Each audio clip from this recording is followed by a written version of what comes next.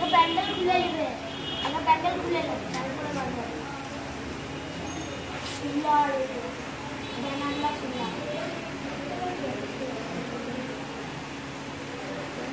मुझे ये खाका चाहिए दुकान